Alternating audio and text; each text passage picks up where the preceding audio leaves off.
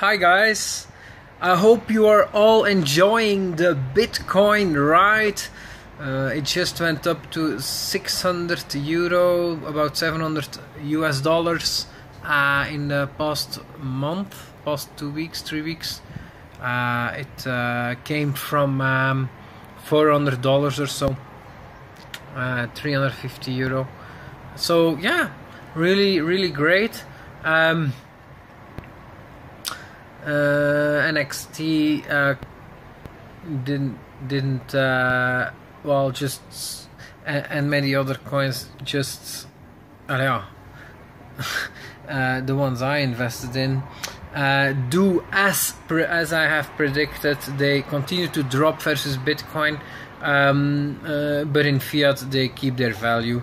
Um, and um, yeah uh, but there are some other altcoins that perform very well and even uh, continue to go up versus Bitcoin or keep their value versus Bitcoin.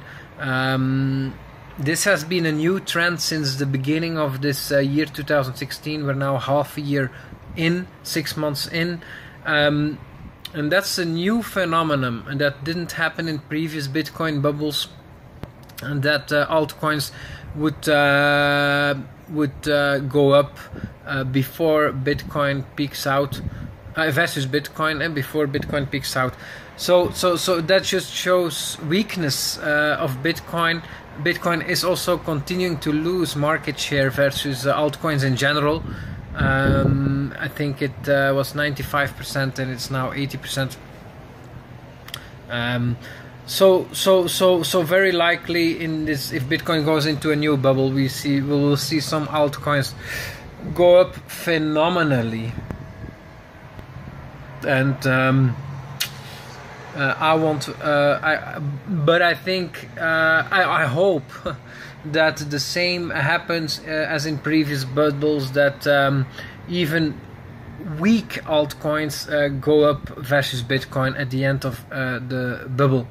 Um, uh, and for me, uh, that will be the time that I sell all my altcoins uh, and um, and keep only some Bitcoin. Also, will sell heavily Bitcoins, and then I'm looking at a valuation of. Uh, at least yeah five times the old all-time high of bitcoin which was $1200 um, so so at, at least $5000 but I will now not sell in the way up. I will only sell in the way down. So I've uh, I, have made a lot of mistakes the past two years, and um, and, and and the biggest mistake I made uh, was to listen to other people uh, instead of my own gut feeling. If I would have done that, I would have invested. Um,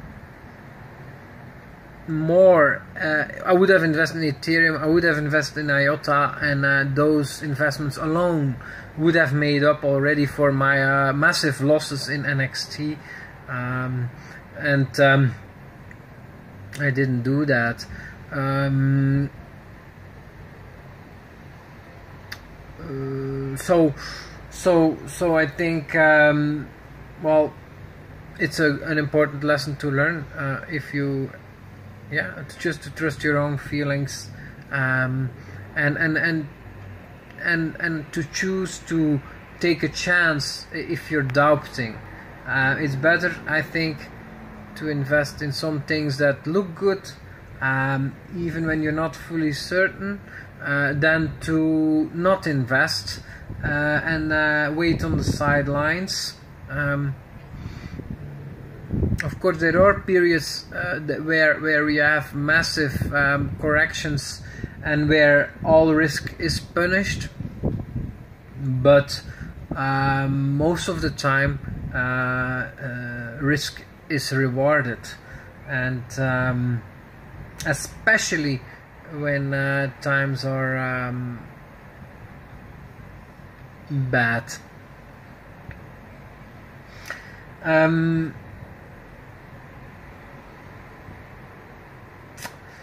so so uh, what else can I say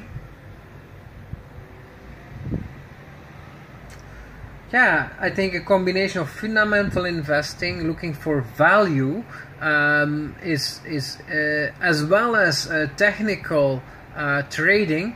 Uh, always, when I combine these two, I have the best results. When I ignore one of them, I I, I perform uh, poorly or, or, I make tremendous losses. Um, so that means looking for something that is uh, looks good from a value perspective uh, so it's undervalued uh, in your opinion but only invest when the trend is upwards. When the downtrend has clearly stopped and the trend is upwards. I've made that mistake. With NXT continuing to invest during a downtrend well that really can be very painful as it when it continues to go down because you have continued to invest more in it and so your losses accumulate.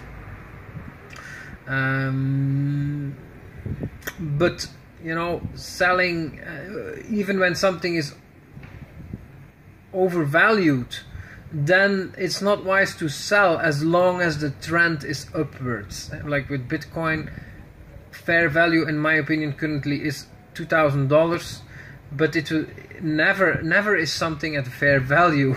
Uh, it will uh, it will uh, go straight through fair value. Um, uh, and is it uh, import is it is it wise to sell when it achieves fair value? No because it will uh, it will go to overvaluation. But it's very hard to predict how high this overvaluation is and and we are often wrong. Often we are really wrong in estimating how high something can go. And uh, this has a lot to do with the fact that fiat continues to go down in value by 5% per year. So a new bubble in housing or stock markets um, will be a lot higher in fiat value than the previous bubble.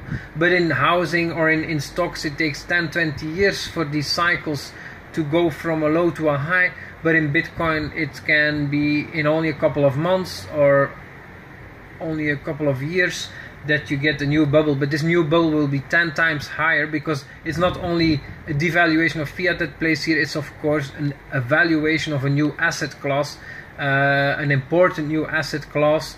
Uh, it's like a, a, a, startup company that uh, is able to uh, get um, a big market. Um, there are strong corrections but um, the new highs will be a lot higher than the previous high. So so that's why um, I don't sell any Bitcoin currently even though it just went up the last two three weeks times two. Um, no I sit tight uh, till um, not till the new all-time high is achieved by 1200 no I sit tight till the the bubble is clearly over. Till uh, there is not uh, a small correction but there is uh, a new all-time high that's a lot higher than $1,200 so $5,000 at least. Uh, but also till there is a very strong correction of not 10 15% but a strong correction of at least 30 40 50% uh, only then th- that's a real break in a bubble. That's a very strong correction. And and in the past often you have had a rebound from that. It will go back up. Uh, people still believe a lot in it but the bubble is over and on that rebound is the best moment to sell. And I plan to sell then strongly. Um, all my altcoins will go out and Bitcoin also I will sell a lot. And at that point my exposure to Bitcoin altcoins will be like 90% of my portfolio and I will cut it back to only 20% or 10% so sell almost everything. Um, and sit back and wait for a uh, allez, maybe not 10 20% maybe 20 30% but um, and then wait for a um, bear market to um, uh, not just wait for the price to go down and buy on the way down. No, I don't do that anymore. Even though that has been a good choice for Bitcoin, it has been a terrible choice for NXT for me. So, um, what I will do the next time in the next bear market is to wait till there is clear signs that the bear market is over. Huh? so that so that then the inverse process needs to happen. Uh, I'm not gonna buy when it uh, goes down. I'm also not gonna buy on a small correction up of only 10, 20, 30 percent. No, I will buy when there is um, when the when there is a when the 200 day moving average has sorry when the 50 day moving average for example has crossed the 200 day moving average that's a, a strong indicator that the market has turned uh, it's not a guarantee at all eh? this indicator can cross again and and then uh, you need to sell but uh, that's how I'm gonna do it now in the future eh? um, so a combination of fundamental uh, investing value investing and uh, technical trading. And also take a chance when I'm in doubt invest a small piece of my capital 5% in something even when I'm not really sure but it really does look good and in the short term I believe in it. Even when I don't believe in the long term um, like with IOTA for example I did believe in the short term there was a good opportunity and I didn't take it and it I would have tenfolded 20 folded my capital those are painful experiences that I pledge not to have again so um, I hope you enjoyed this video and um, you are uh, all well positioned for a possible new crazy bull market in Bitcoin. Bye.